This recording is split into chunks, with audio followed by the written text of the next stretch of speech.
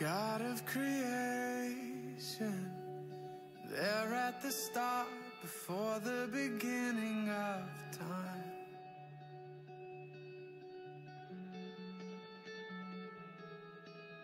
With no point of reference, you spoke to the dark and fleshed out the wonder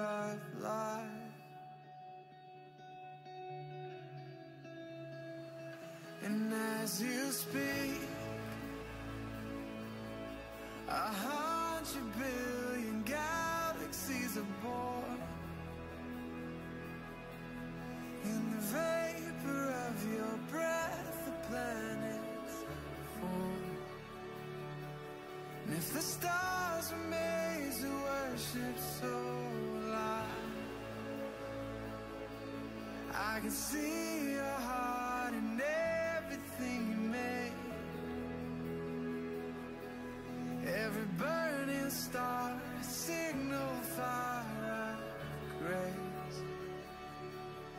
if creation sings your praises, so will I.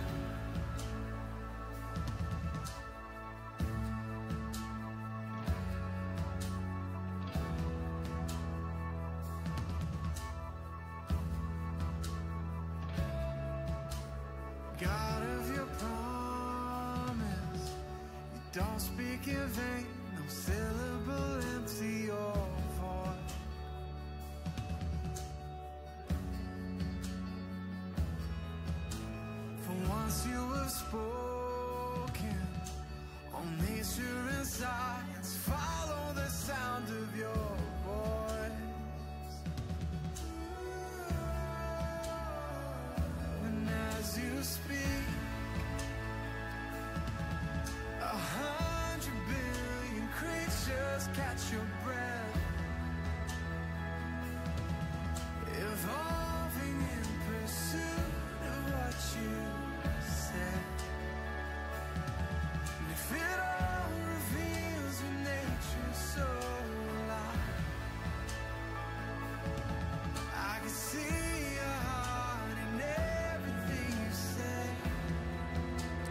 Well, good morning, Grace Church. He is risen. He is risen. Will you stand with us as we celebrate here this morning? We're so glad that you came to church today. Let's give God all the glory and all the honor that He's due. We sing. End of sorrows, Lamb of God, by His own betrayed,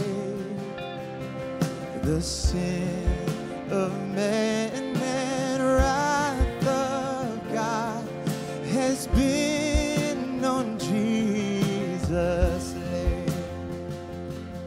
We sing silent as He stood accused.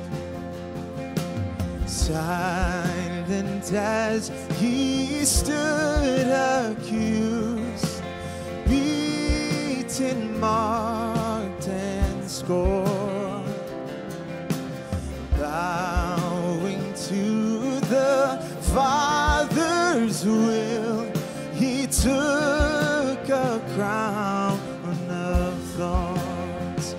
you know it, sing it with us. Oh, that rugged cross. and oh, that rugged cross, my salvation, where your love poured out over me. Now my soul, now my soul cries out, Hallelujah, praise and honor unto We sing, Son of Heaven. Sent of heaven, God's own Son, to purchase and redeem and reconcile the very one who nailed him to. Come on, can we raise our hands and raise our voice? We sing. And oh, that salvation, where your love poured out over me. Now my soul cries out, Hallelujah. praise and honor unto thee. We sing. Now my it is paid Can you sing this with me? by the precious blood that my Jesus. Come on. Now the curse of sin has no hold on me. Whom the sun sets free. Oh, is Let's celebrate this morning. Now my debt. now my debt is paid. It is paid the precious blood that my Jesus, that my Jesus felt has no hold on me. The Son sets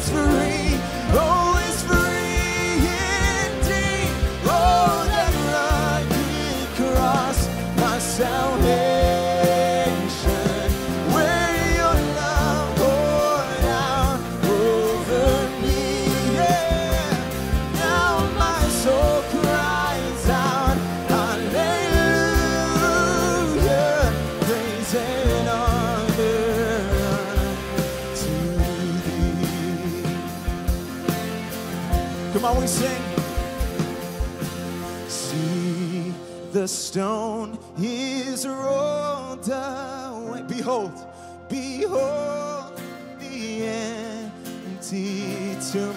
We sing hallelujah.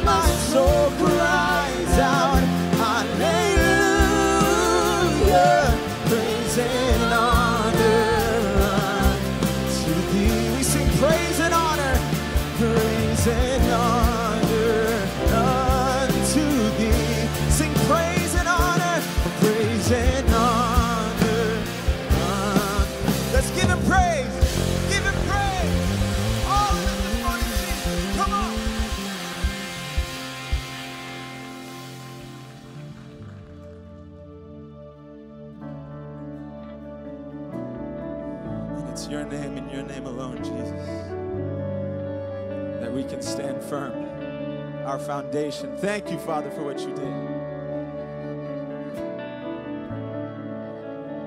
Sing this with me, church. Sing in Christ alone. In Christ alone, my hope is found. He is my light, my strength, my song. This cornerstone, this solid ground, firm through the fiercest drought and storm. What heights, what heights of love, what depths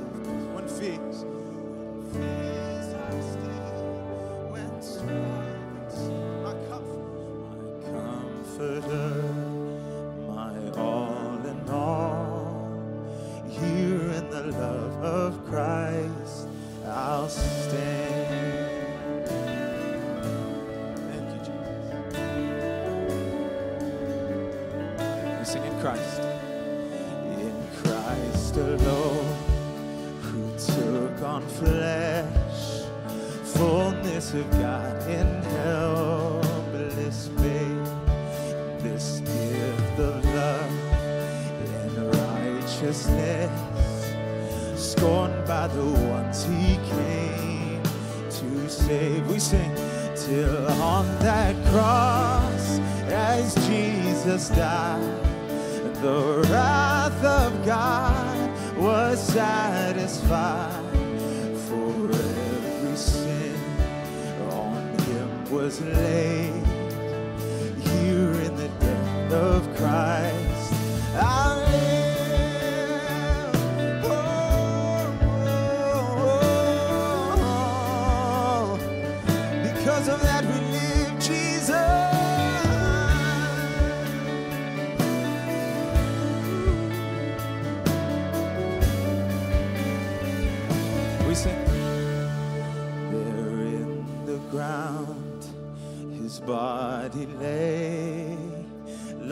of the world, by dark. We sing, then bursting, then bursting forth in glorious day. Up from the grave he rose. We sing it as he stands, and as he stands invisibly. Woo! Since curse has lost its grip on me, for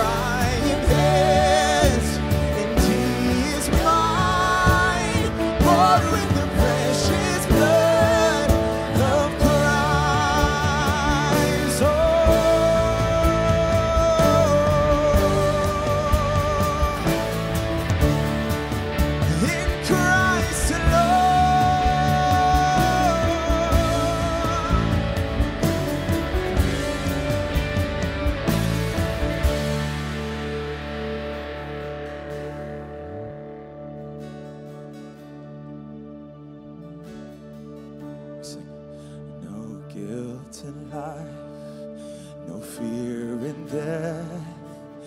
This is the power of Christ in me. Come on. From life's first cry to final breath,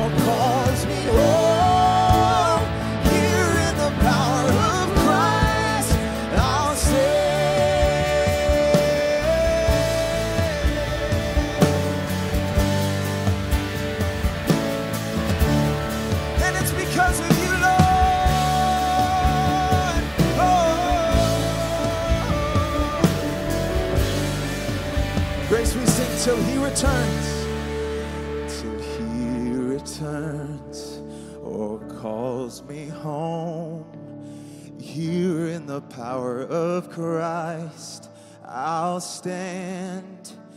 Here in the power of Christ, we stand. We give you glory this morning, Jesus. And with that, we all said, Amen. Thank you. Amen. Good morning, Grace Church. Happy Easter. Uh, at this time, I'd like to excuse all of our kids back to their uh, Sunday school teachers. And everyone else, please turn and welcome someone this morning. Say good morning.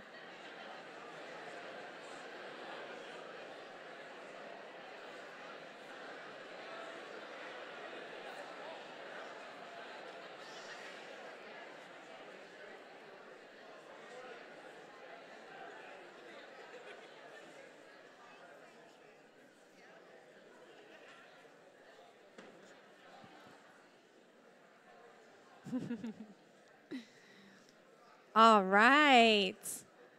Well, good morning, Grace Church. We are so glad you're here today. My name is Liz, I'm the communications director. And I just want to welcome everybody to this beautiful rainy Easter Sunday. Woo! Um, I would, uh, I'd like to welcome especially anybody who's visiting for the first time today. If you're new to Grace, we're so glad you're here. We would love to meet you. Uh, right outside to the right, we have an information booth, and we would love to give you a gift this morning and tell you more about how to get connected here at Grace Church. Uh, we also have QR codes on the back of each chair. If you check those out, um, that's a one stop shop, a good way to get connected and find out about our house churches, our ministries, and lots of other things here at Grace because we want to get you plugged in. I just want to tell you about uh, two exciting things we have happening next Sunday, so we hope you'll come back for them. Um, next Sunday, we have a special newcomers lunch. This is for anybody who has been attending Grace for a short amount of time. It could have been you've popped in for one week, or that you um, have just been coming for a couple of months and maybe haven't got super involved yet. But either way, we would like to invite you to a newcomers lunch that is next Sunday after the third service, after our 11:30 service. Um, and if you hang out right after that, right around 12:30, we are going to have a lunch for you, and a couple of the pastors and myself will be telling you more about the church and how you can get involved. And we also have a time of question and answer, and it's just really designed for you to learn more about our church and how to get involved here. So, newcomers lunch. We hope you will join us for that and tell your friends. Um, also, next week we have a ministry fair. Uh, a lot of people know that we have a lot of ministries here at Grace. We have house church for community, but we also have ministries that are focused on outreach and activities and care and recovery. Um, so we have a bunch of those that we would like to help you learn more about. Next week at Grace, after all of our services, we are going to have tables outside there is no rain in the forecast.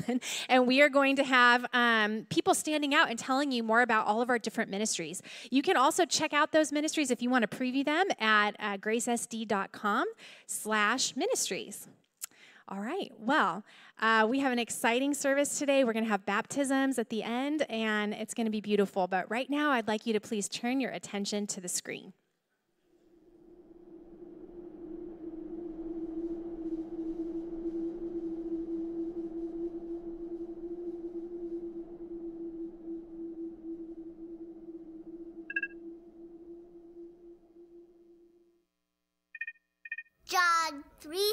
3:16. Quarterback Tim Tebow is a strong Christian. For God so loved the world, the whole world.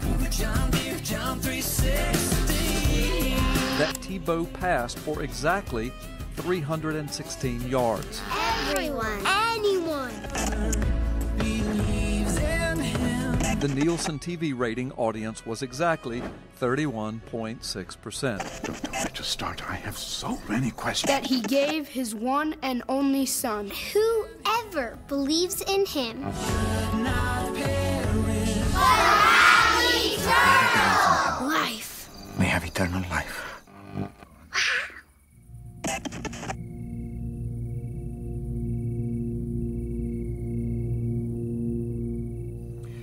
A sort of kingdom that a person cannot see unless he is born again.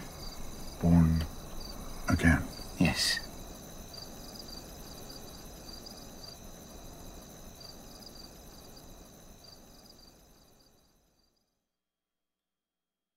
Well, good morning, Grace Church. How are you? You guys endured the rain. You look good. You smell good. You sound good. 8:30 service. You're like extra good for coming early. So well done. Well done. Uh, my name is Josh. I'm one of the pastors here. I'm so glad you guys are here. Um, we may not know each other, so you could judge me, but I'm going to ask you not to. So don't judge me. But on Valentine's Day of this year, my wife Amy and I took our three daughters out of school so that we could go to Disneyland. I know, right? Yeah, yeah. Yeah. I've already lost half of you. I get it. It's fine. It's very controversial intro. I get it. We went up to Anaheim the night before. We stayed in a hotel. We got up early, got coffee. We are walking to Disney at 7 a.m., trying to be there near the rope drop time. And uh, it's, it's like a beautiful day. As we're walking up, my kids are wearing their princess gear. They've got the ears on. I mean, the sun's out, love is in the air. People are smiling and dancing. It's, it's the whole deal. But as we get closer to the entrance, we notice that you can hear something on a loudspeaker. And you're like, man, what's, what's that? And as you get a little bit closer, you can see a sign near the loudspeaker. And the sign has the Bible verse, John 3.16, on it. And as you get closer, you can hear that the person on the loudspeaking is preaching. And I'm a preacher and I love that verse. So I'm like, man, I wonder what they're talking about. And as you get closer, you can start to hear that they're not talking about the kind of thing you want to hear over the loudspeaker, but this is one of those fire and brimstone kind of sermons. And this person is telling you that God's judgment is coming, repent, you sinners. And it's 7 a.m., and we're walking into the happiest place on earth. And the message over the loudspeaker is turn or burn, you sinners. Um, and there's a dad walking next to me that I don't know, a stranger pushing his daughter in a stroller. And he says, like in a drive by, he says to me, No better way to start the morning than someone telling you you're going to hell. As he just, and I, I, I'm like, Excuse me, sir, there's more to the story. Come back here. Uh, I actually know that, like, but he's gone. It's, it's over. And so John 3.16 is one of the most well known Bible verses in the world. It may be the most memorized verse in the world. It might also be the most misunderstood verse in the world. So I thought this morning on Easter we could take a look at it together. The context is a religious leader who's a little bit weary of engaging with Jesus publicly comes to him at night and has a conversation. And this is the, the verse comes out of that conversation. So if, if you have this memorized, we're going to put it on the screen, but would you just say this with me for old time's sake? John 3:16. For God so loved the world that he gave his one and only son that whoever believes in him shall not perish but have eternal life. If you said whosoever, raise your hand. Yeah, you feel it's got it's in there, right? King James version. It's like lodged in. It's just KJV all the way. God so loved is how this starts. This is significant. Uh, theologian A.W. Tozer says the most important thing about a person is what they think about when they think about God. The most important thing about you is what you think of when you think of God. So let's walk through this. God so loved. God in this verse is not an impersonal force. He's not a far off deity uninterested in the affairs of people. God in this verse is doing something, and he's not yelling. He's not scorekeeping. He's not disappointed. He's not passive aggressive. He's not withholding love. He's giving love. And he's not just giving regular love. The text says he's so loving. He's not just loving, he's so loving. This is different. You know how, like, if you're a parent, you love all your kids, but you so love your favorite kid? Like, you know, don't, don't, you know, you know. Love you guys. Love you. So love you. Different. So loving. When I was at youth camp as a kid, I remember a preacher, I have this like ingrained in my memory. A preacher said, If God loves you so much, if he had a refrigerator, your picture would be on the fridge. And I remember being like, that sounds silly. And as I've gotten older, I'm like, that's really beautiful that God would have his, my picture on his refrigerator because I have pictures that my kids draw on the refrigerator, and it's really beautiful. So, this God is so loving, this all powerful God who created the universe and is currently sustaining the universe is so loving. Why? Why is he so loving? I submit to you because it's who He is and it's because it's what we most need. God is so loving because it's who He is and it's what we most need. This may be hard for you, but listen. You and I were created for love and for attachment. Research shows that babies who aren't loved and hugged and kissed and snuggled and given eye contact will actually stop growing. Infants who aren't loved have developmental pauses in their brain it, causes a higher risk of behavioral, emotional, and social problems. You and I were created to be loved, created for secure attachment with the Father. We are on a quest to be loved.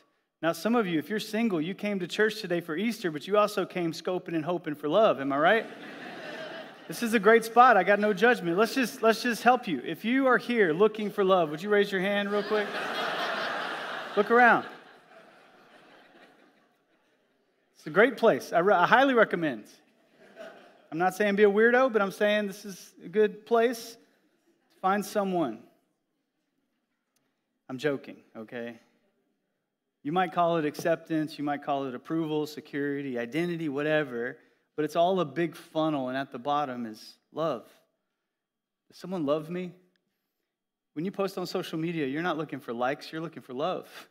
When you're in the gym working on the biceps, fellas, don't forget leg day. You know, like, like you're looking for love. When you call your parents, you're seeking love. When you work hard to achieve something, you want love. Love dictates what you do for work, it dictates where you go to college. Some of us have gone back to people who hurt us because we so badly wanted to be loved. We go to great lengths for love. We would do just about anything for love. In 1993, a singer named Meatloaf wrote a song about this. Now, the first question is Did Meatloaf not have any friends that could tell him the band name Meatloaf is the single worst band name in human history? But this is a band named Meatloaf, and he wrote a song called I Would Do Anything for Love, but I Won't Do That. And to this day, no one knows what's too far for Meatloaf. what is the deal breaker? There is a Wikipedia page designated to trying to answer the question. There are two big questions in the world. Why am I on this earth? On this, why am I on this earth? And what is it that meatloaf won't do for love? if you're younger, you don't know that. I don't want to sing it for you, but Google later and just feel weird watching that music video. So, in this text, God is offering us what we most need. But it's not just love, like generic, superficial love, it's an intimate love that knows you. The, the, the, verse goes on to say, For God so loved who? The world. For God so loved the world. And when the Bible says the world, it doesn't mean the globe physically, it means the great mass of fallen and rebellious humanity who cannot save themselves. The world is the fallen and rebellious humanity. The world is God's enemy. That's me and that's you. From the Garden of Eden, we have failed to trust God. We have fallen short of His standard. We had missed the mark of His design. God gave us 10 commandments. And if you were to read them honestly, you will find out, just like me, that you are a 10 out of 10 commandment breaker. We're sinners, we're imperfect, we struggle, and sometimes this reality can make us feel disqualified from God's so love. Being a pastor, people have said to me over the years, uh, God can't love me. I'm too sinful. I'm too angry. I'm, I've hurt too many people. I've slept with too many people. I struggle with addiction. I'm too far gone. I drink too much. I've stolen things. I'm too unlovable. I did this. I did that. God doesn't love me. God wants to punish me. God wouldn't want me, and He certainly wouldn't so love me. Listen, you know that God knows that about you, right? You know that God knows everything about you, and yet his posture and his action and his heart towards you is so loving. And his love is not like ours. Dane Ortlund, in his book, Gentle and Lowly, talking about Jesus, he says, Jesus does not love like us. We love until we are betrayed. Jesus continued to the cross despite betrayal. We love until we're forsaken. Jesus loved through forsakenness. We love up to a limit. Jesus loves to the end. So, church, when you think about God, can you believe this? That God knows me and God still so loves me. God knows me and He still so loves me. But let's say you're here and you're a skeptic. I get it. And you say, Josh, I have my doubts. I don't know about that. Are you sure? Are you sure that God knows me and so loves me? I would say, keep reading the text and find that Yes, we are sure, because God so loved the world that he did something. He gave. He so loved you in your rebellious state that he gave his one and only Son. His love is not vague. His love is not random. His love is not a sentimental feeling. It's a love that gives, a love that's willing to pay a cost. His love is self sacrificial on your behalf. God said through his actions, He said, I see you. I know you, I understand. And we are at odds right now, and I'm going to be the one that makes it right. In the Bible, this message is called the gospel. The gospel is the good news that God loved you in your helpless and rebellious state while you were his enemy. He sacrificed for you. Romans chapter 5, verse 8 says it. God demonstrated his own love for us in this. While we were still sinners christ died for us. That's basically john 3.16 reworded. God didn't wait for you to clean up first he loved you. He sacrificed for you while you were his enemies. He put himself in your place. And the gospel story is the most beautiful profound life altering message in the world. It's the greatest story ever told and every story that's any good that we love in this world has an echo of the gospel. The gospel story is everywhere. This is why you and I can hardly hold it together. If there's a movie that shows self sacrificial love, because there is something buried in our bones that knows that's what we were created for and knows that that's what we most want. You most want someone who knows you, loves you, and is willing to sacrifice for you. Does anyone know me? Does anyone love me? Does anyone know me and love me enough to sacrifice for me. That's why movies make you cry. And I'm not just talking about rom coms where they get together in the end, I'm talking about self sacrificial movies. I brought 11 of them to show you so that every one of you by the end can be like, yeah, I cried at that one. So you may hate nine of these, but you won't hate 11. Do you remember this one, Titanic? Self sacrificial love. Can we agree that there's probably room on the door for Jack to survive with Rose? This next movie traumatized a generation. It was called Armageddon, where Bruce Willis takes Ben Affleck up to the spot and then exchanges himself for Ben, and through the glass says, Ben, take care of my little girl, because Ben Affleck is engaged to Bruce Willis's daughter. And then Bruce goes to die. Are you kidding me? I can't even look at the screen right now. Everybody dies in Rogue One. Have you guys seen Rogue One, Star Wars? Everybody dies. Spoiler alert. Making it one of the top five Star Wars movies ever made, and I'll fight you on that. Tony Stark in Endgame. Do you remember this moment? Yeah, okay, finally. he self sacrificed to defeat Thanos. And then Captain America thinks he's alone. Then all of a sudden, Black Panther walks through the hole. It's like, oh my gosh, are you kidding me? If you're a literary person, do you remember when Dumbledore laid down his life for Harry? Yeah? And Snape did it. Snape, of all people, was slow playing the whole time. Remember when Aslan laid down his life for Edmund in the Chronicles of Narnia? That's cheating because that's C.S. Lewis, like really talking about Jesus. It's like that was, that was like insider info there. This one's more obscure. Do you, do you guys know this movie? It's called John Q. Anybody ever seen John Q? This is a story where Denzel, if Denzel's in the movie, it's good, right? But his nine year old son is desperate for a heart transplant and he's too low on the list and their insurance is messed up. So he takes the hospital hostage and he takes a doctor and says, I'm going to sacrifice myself. Take my heart out and give it to my son. That's John Q. Spoiler alert. If you're from the Generation Z or below, do you remember when this happened and Anna stepped in to give her life for Elsa? and you, you cried because that was the gospel? But the most gut wrenching of them all for me is from a Pixar movie called Inside Out. In Inside Out, the character named Riley has an imaginary friend named Bing Bong. And the emotion joy is going to be lost in the abyss unless they can find their way out. And they get on this cart, and Bing Bong and Joy are trying to get out, but they can't make it. So Bing Bong has to jump off the cart so the Joy can make it to the end. And Joy ends up making it, and Bing Bong stays in the abyss. And when it happens, it is gut wrenching. I'm watching with my kids, and I'm sobbing. And they're like, Dad, why are you crying? And I'm like, Bing Bong goes to the abyss so that Riley can have joy. Bing Bong is Jesus. like, The best stories echo the gospel. They resonate with us so deeply. Everyone is moved by these because they're moved by the gospel. We want to be sacrificed for. John 3:16 has every right to be on a sign out in front of Disney because it's the best news in the world. Actually, Disney owes John 3:16 copyright infringement. Every one of the stories are telling the story that God loves you enough to sacrifice for you his one and only son. There was only one who could do it, and he was willing to do it. But this begs the question what was the sacrifice for? Why did we need to be sacrificed for? Well, let's keep reading.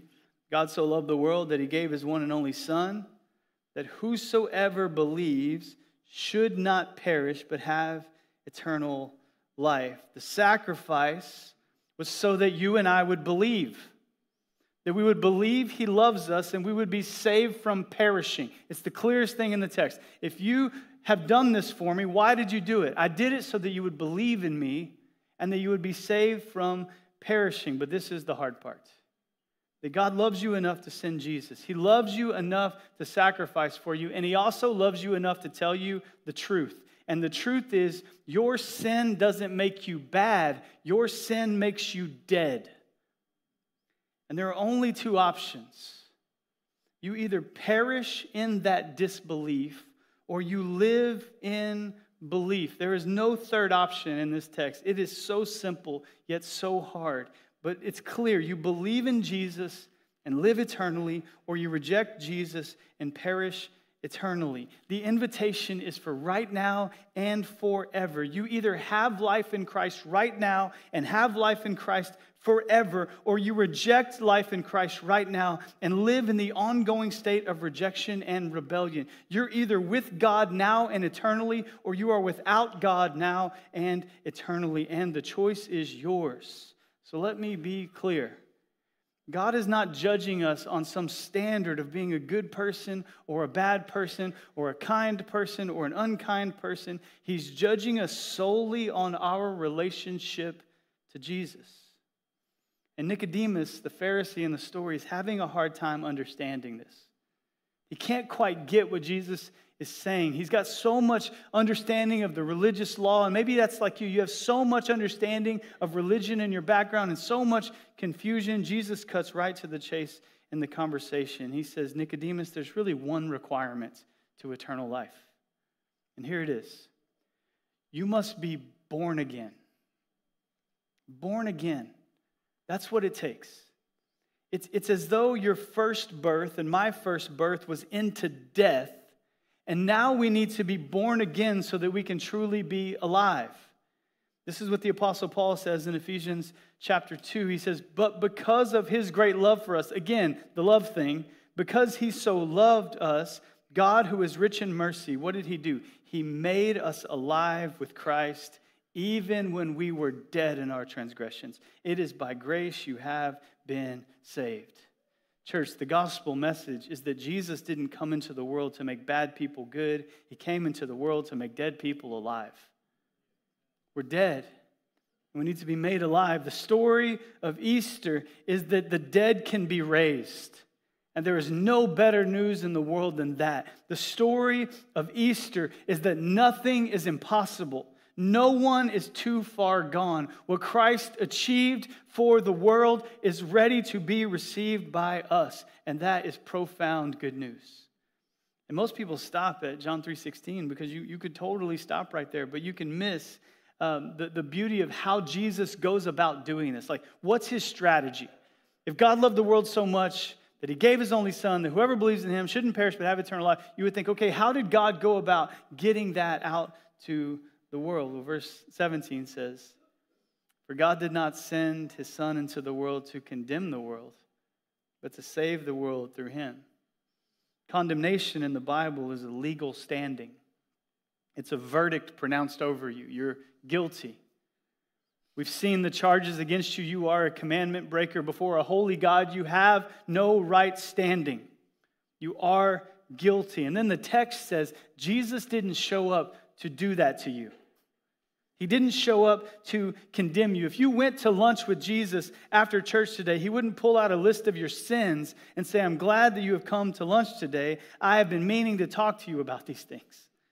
No, he shows up in this world as a Savior who is kind and a King who's willing to stand against your true enemy, which is sin and death and the devil. He is your advocate, not your judge in this text. There's a story in the gospel where this plays out. Uh, Jesus is doing a teaching, and some Pharisees, like Nicodemus, teachers of the law, they, they catch this woman in the act of adultery, which is just incredibly shady in the first place, that these Pharisees are like seeking that out. But they find a woman caught in adultery, and they bring the woman, not the man for whatever reason, but they bring the woman, and they're going to trap Jesus. Because the law of Moses says we can stone this woman for committing adultery. And if, if Jesus says stone her, then he's not gracious. If he says don't stone her, then he doesn't follow the law, so he's totally trapped. They'd throw her down before Jesus. And he just starts writing in the sand. Nobody knows what he's writing. Some people think he was like writing their sins. Nobody. He's just like totally not buying the trap. And he finally responds uh, If any of you are without sin, why don't you throw the first stone? And the, the story says that starting with the oldest, the Pharisees drop their rocks and walk away until only Jesus and the adulterous woman are together. They're alone. And Jesus asks her, Where are they that condemn you? That word, condemn. Where are they that condemn you? And she says, There's no one left except you, Jesus. And Jesus says, Neither do I condemn you. Now go and leave your life of sin. So, in this microcosm, we have the macro story of the gospel that the sinless one, the righteous judge, Jesus, the only one who could rightfully throw stones at her, says, I'm not here to throw stones at you. I'm here to take stones for you. And it's the kindness of the Lord that leads her to leave her life of sin. It's the grace of God that leads her to walk away from these acts evermore. And if you can get that understanding, you can understand the glory of the gospel. That Jesus doesn't want to condemn you, He wants to take condemnation for you. Your sin condemns you, not Jesus. You don't need more shame, you need a healer. You don't need more evidence of your failure. You need a Savior. You don't need some guy yelling at you at Disneyland telling you you're going to hell. You need to know if anyone can do anything about the state of our souls. And Jesus says, Jesus says, I can. I can do something about the state of your soul. I can cover you from the condemnation of sin. I can take death for you. I can take hell for you. I can cover you. The law was ready to throw rocks at this woman, and Jesus says, No, no, no, I'll cover her. Which is basically the biblical story in one phrase. In the Garden of Eden, God covered Adam and Eve after their shame and sin. In the Exodus story, when death was coming for them, the blood of the Lamb covered them and death passed over. This is the picture that Christ is the once and for all shelter and covering for those who believed. And he calls it being born again, which means those who are born again now stand under the covering of Christ. And condemnation cannot get to you this is why Paul says in Romans 8:1, there is therefore now no condemnation for those who are in Christ Jesus, because if condemnation comes looking for you and says, "I have a verdict over their life," instead of finding you, condemnation finds Jesus. And there is no evidence of Jesus ever sinning. The verdict of your life is now the verdict of Jesus' life. That when condemnation comes for you, it finds that the judge has a different verdict. You are no longer guilty, but you are not guilty because of the action of John 3:16. And to talk about this on Easter seems so fitting because the promise of the new birth is now available to the world. What Jesus did physically on Easter is available for us symbolically. And my favorite detail about the resurrection that I will probably talk about for as long as I preach on Easter is that the resurrection happened in a garden. And that Easter is God reversing the curse of the whole world. Because, church, where did sin and death enter the world? The Garden of Eden. So, where does life enter the world? The garden tomb. Everything that died in the Garden of Eden was born again in the garden tomb.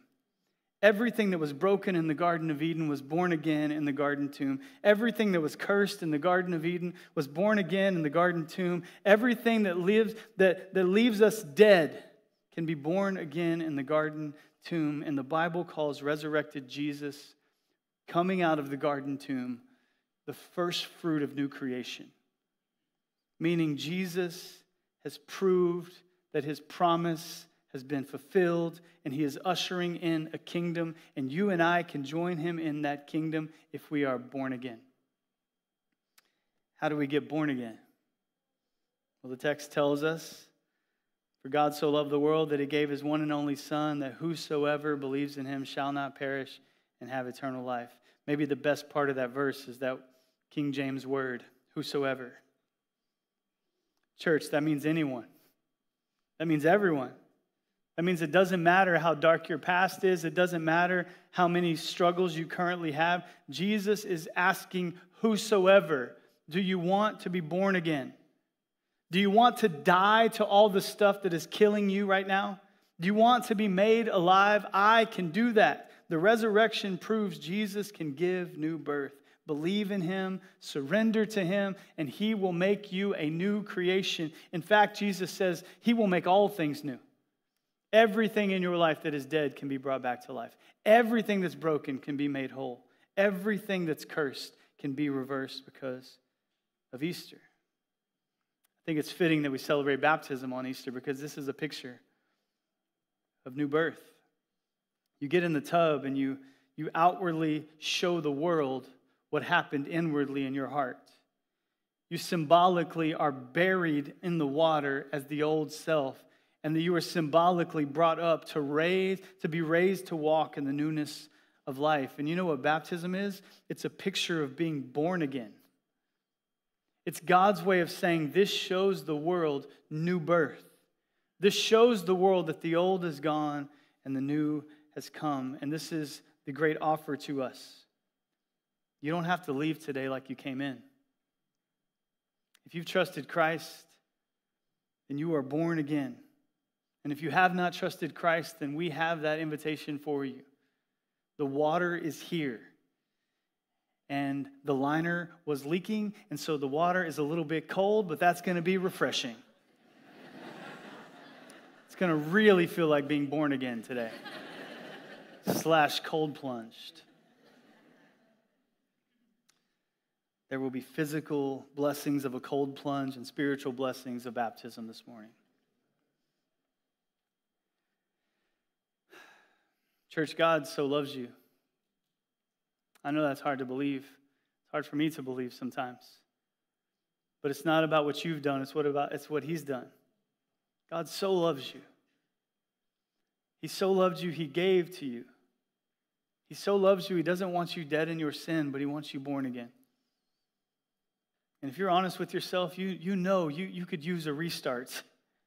If you're here and you're just here because a family member invited you and you're like, I'm going to endure the sermon, then I'm going to go eat burritos later. Like, if you would be willing to just think about the great invitation that Christ offers you, the band's going to come out and sing, and we have like 15 minutes to just engage the Lord, to celebrate baptism, and to experience the life of Christ that is available to all. Church, do you want to be born again? God would so love for you to be born again. God would so love for you to be baptized today. God would so love to set you free from all those things that are holding you down. God would so love to transform you today. And the promise of the resurrection is that He can. You just have to surrender to Him. So I want to pray that we would surrender to Him this morning and experience the joy of being born again. Father, thank you for your word. Thank you for baptism. Thank you for John 3:16. Thank you that you so love us. God, I pray this morning we would respond to your love. We would celebrate our friends, symbolizing being born again. We would celebrate the glory of who you are, and God, your presence would just fall heavy on us over the next few minutes. Father, we love you and we thank you for all that you've achieved for us. Thank you that we're no longer dead, but we're alive in Christ. Pray that we can turn our eyes to you now, turn our hearts to you now, and believe that you so love us. We pray that in Jesus' name. Amen. Amen. Thank you, Josh. All right. Let's begin.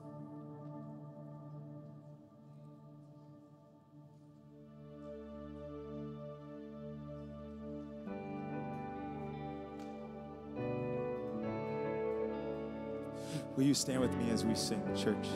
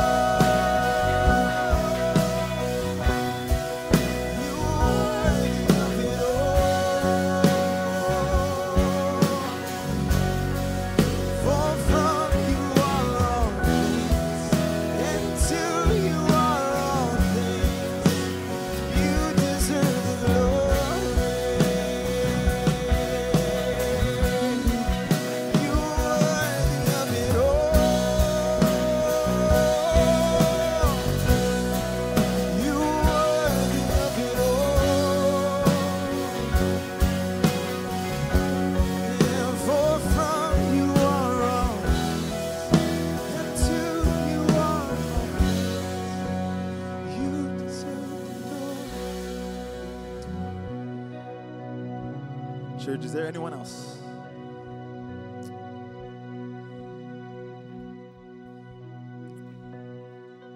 There's a moment here, and if you feel a nudge, any kind of nudge from the Lord, and you know, all right, this is scary, this is nerve wracking, everyone's looking, um, but Lord, my declaration of what I believe is more important than what I may feel temporarily in this moment.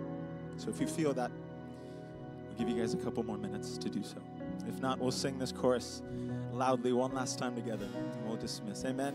He's worthy. Can we just sing this together? And if you're contemplating, that's okay. We're going to sing just another minute or two. Sing, He is worthy. You are worthy, Father. You are worthy of it all. You are worthy of it all. For from you are all things. Come on. And to you are all things. You deserve the glory. You are. You are worthy of it all.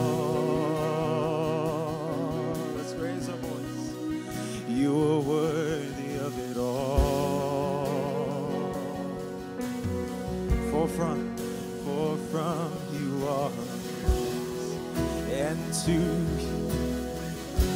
you deserve. Hallelujah.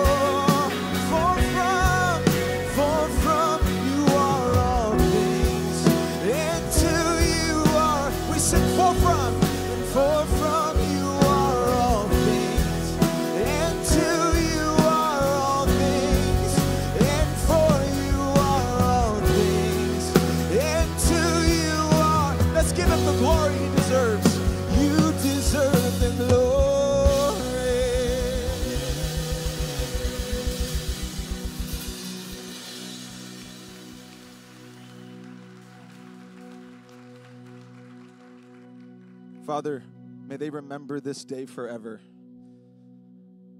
That, Father, aside from what they maybe internally felt, they acted upon your word. Father, they saw the new life with you and they acted on it. And so we thank you, Father, for what you've done in this place today. We thank you for the act of obedience of everyone who was baptized, Lord, and everyone who came today. Will you be blessed as we leave this place? Be blessed, church. We'll see you guys next week. Have a good one.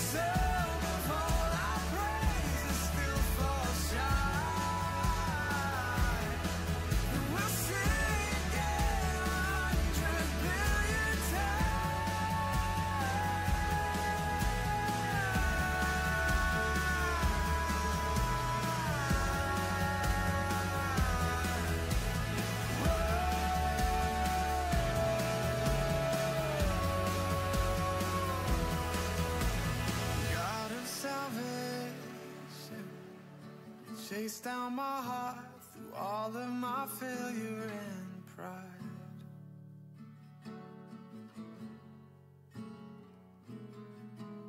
On a hill you created, light of the world, abandoned in darkness to die.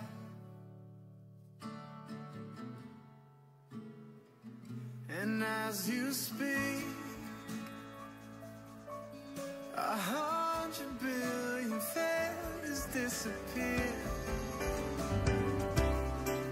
We lost your life, so I